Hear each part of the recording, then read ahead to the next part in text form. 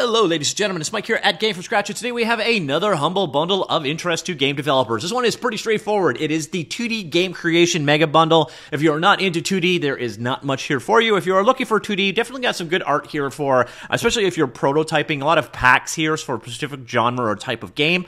Uh, this is from the Game Dev Marketplace. The top tier bundle gives you uh, almost 50 items for uh, $25 USD. Uh, there is a median tier, which doesn't really make a lot of sense because you're getting a lot less items for almost the same price. And at the $1 tier, you're getting uh, mostly backgrounds here, by the way. So that's what you're getting in this particular bundle. I'll show you a couple of these in action. Also go into the licensing details and so on for what you can do with these. Generally, the license is quite permissive in what it lets you do. So, uh, again, 50 items here. You decide how your money is allocated between Humble Charity, the publisher, and if you so choose to do it. Thank you so much if you do to help support Game from Scratch. Now let's go take a look. This is uh, some of the assets assets thrown together into a Godot demo. Uh, I also have some audio. So there are some soundtracks here. That's pretty quiet. Hopefully you can hear that a little bit in the background. Uh, so there are uh, some sound effects and music packs in here as well. Uh, what you're seeing here is a, a, animated sprite kit. These are available in a number of different formats. Generally, this was vector graphics to start with, but it's been rendered out to a series of PNGs. So if we go ahead and look at this guy, you'll see exactly what I mean. So there is one of the animation sequences available. There is another set of the animation sequences available. Uh, there's about six or seven different animation sets for this character, and there's a ton of characters in this particular pack. So this is one of the examples. This is another one of the examples. This is the background graphics. Um, I think it was also modular, so you can rearrange things however you wish. A number of different background packs in each pack. Uh, so uh, if you're looking to quick prototype, this is the graphic style of a lot of these assets. Now, these are from different creators, so some things you get uh, a much different result. So, for example, there is also a car creation kit here. Uh, so you can see a variety of different cars in that pack. You also have things like this guy right here, uh, which is actually a... Um, this is a uh, atlas so you see here, all the various different UI elements are together within that sprite atlas. So if you're doing UI elements for a racing style game, uh, it's got you set there. So that's kind of an example of the sort of assets we're dealing with here. A lot of times you're dealing with vector graphics in this. Uh, for example, the card packs we're looking at are vector graphics. Uh, they're available in a variety of different formats as well, including like Adobe Illustrator, SVG, etc. And that's cool because what it allows you to do is come in, select individual elements like this, and let's say that the main car itself like that, and then the other part of the car right here like that. And then you can see how you can make uh, almost an infinite variety. So if you're not really that artistically inclined and you're creating a card game, you can create a wide variety of things. By the way, there's also SVG support in Godot now, so you'd be actually able to do this dynamically uh, with a little bit of coding, which is actually kind of cool. Uh, so again, the pack is uh, organized into various different tiers. We'll go through all of them really quick. So here's how the actual assets I downloaded look. Uh, music is pretty straightforward. a collection of uh, basically songs into different themes, all available as WAV format files. Uh, then, so that's the ultimate music library. Uh, background set was uh, 10 different background images. So you're going to see here, you've got rendered out to PNG, so the various different pieces that go together to create that background. Or you can often see like a full blown version of it. Plus, you get things like Illustrator versions, etc. So I think I did one.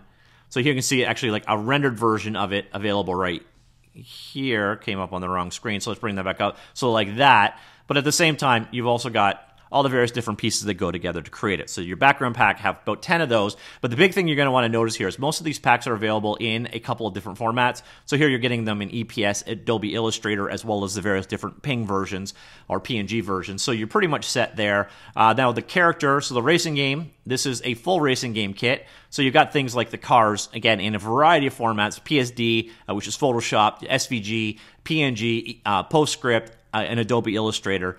Uh, so you got a variety of different format cards there. Uh, and then again, each one is, since it's available as a vector graphic, if you have something like Illustrator, Inkscape, or in my case, Affinity Designer, uh, you can make a lot of modifications to them. On top of that, you also have the atlases here.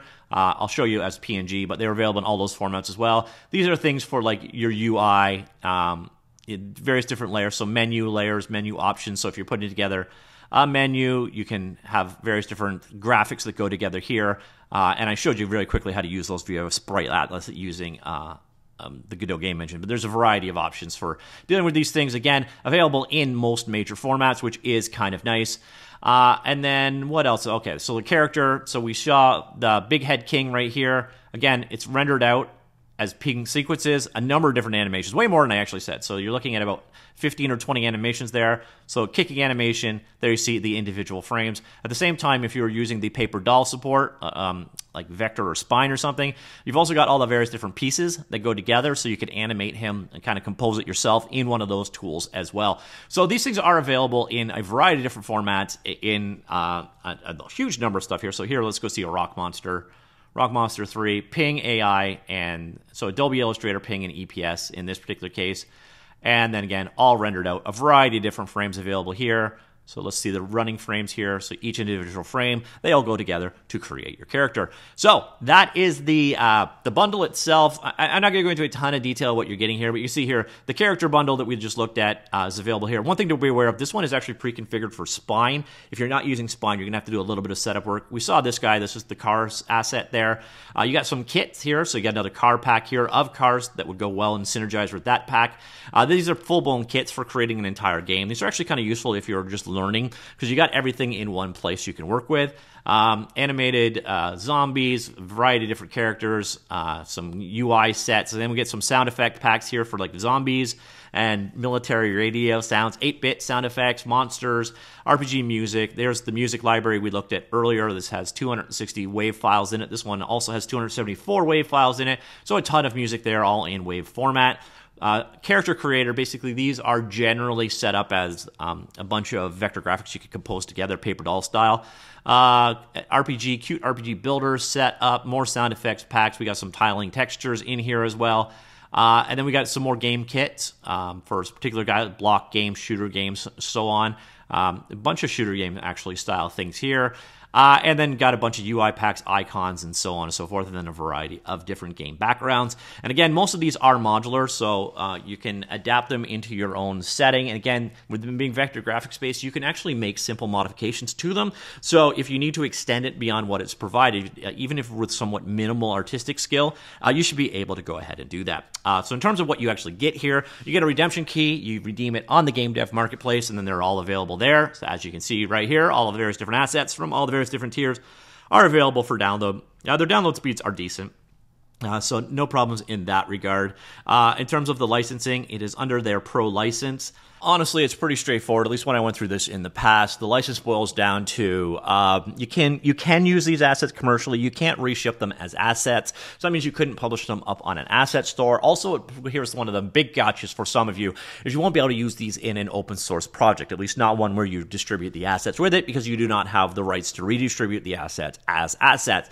But otherwise, you're generally okay with the licensing. I'm not your lawyer. I am not a lawyer. I recommend you checking this one out yourself before you purchase them. But ladies and gentlemen, that is it. The 2D game creation mega bundle, a huge collection of mostly 2D assets. We got some sound effects and music in there as well uh, from the Game Dev Marketplace. I'm curious what you think of this bundle of these assets. Of course, do know there are free options out there. You've always got Kenney stuff, etc.